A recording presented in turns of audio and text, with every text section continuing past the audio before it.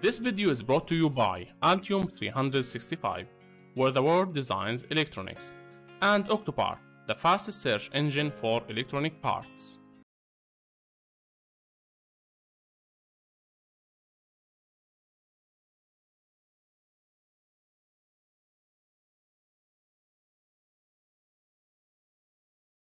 space 100k space 5% space 0805.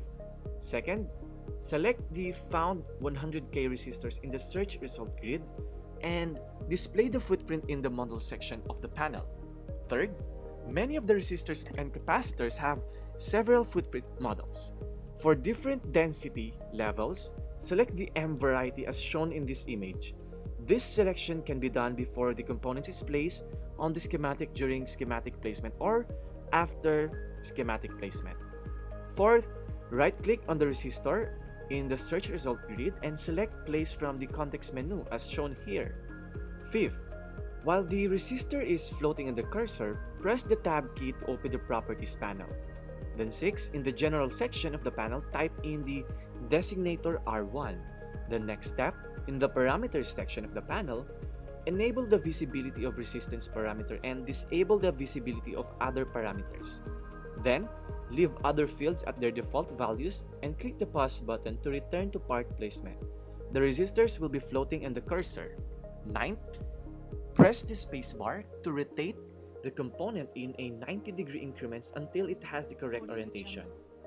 The 10th step, position the resistors above and to the left of the base of Q1. Now refer to the schematic diagram that was shown earlier and click the left mouse button and press enter to place the part. Then 11, place the other 100k resistors R2 above and to the right of the base of Q2. The designator will automatically increment when you place the second resistor.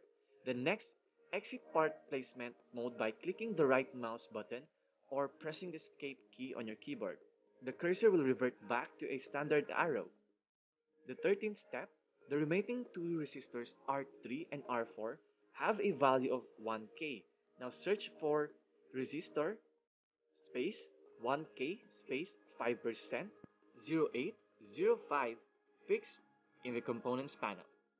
14th, select the found 1K resistors in the search result grid and display the footprint in the model section of the panel. Next, many of the resistors and capacitors have several footprint models for different density levels. Select the M variety. 16.